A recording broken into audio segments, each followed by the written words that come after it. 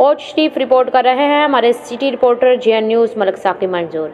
Amir अमीरमिन हज़रत अली मुर्तज़ा का योम वलादत नहायत अकीदत एहतराम के साथ मनाया गया।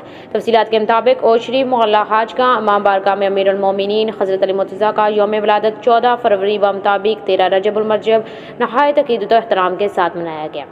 जश्न वलादत के सिलसिले और शरीफ समेत मुल्क भर के तमाम छोटे बड़े शहरों की मसाजिद में मनदा मुहाफिल और दिगर तकरीबा के दौरान उलमा और ख़तीब हजरात खलीफा चखारम हज़रत मुर्तज़ा के फ़जाइल बयान करते हुए दीन इस्लाम की आबियारी के लिए पेश की गई अजीम कुर्बानियों को हराज अकीदत पेश किया।